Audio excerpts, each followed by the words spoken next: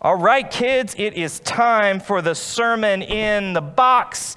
And if I remember correctly, last week I gave the box to Nolan Gardenier, and I don't see the Gardenier family here this morning. And so, unless Nolan has given that to someone else, I think we are without a box this morning. And you know what?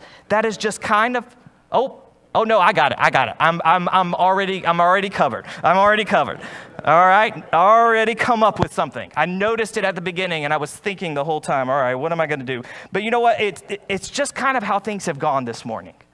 A lot of things have not gone the way that they should. The screens weren't working. Some people who we thought were going to be here to do some stuff to bring the sermon in the box, they didn't show up, and that's just the way it goes sometimes. Sometimes things don't work out the way that they should.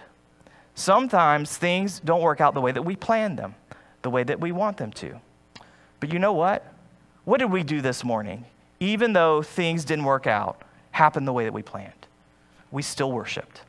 We didn't cancel worship. We didn't say, hey, because we don't have screens, we're not going to sing. We didn't say, hey, because the, because the box didn't show up, we're not going to have sermon in the box. No, we still worshiped God even when everything didn't turn out the way that it should. And that's a good lesson for us in life. Because a lot of times, things don't go the way they plan, that we planned. Things don't go the way that we want them to.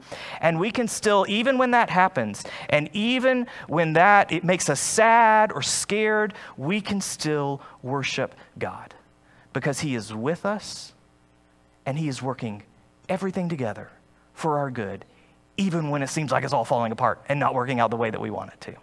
So let's continue to worship Him even when the box doesn't show up. All right, that's the sermon without a box this morning. And so you can rejoin.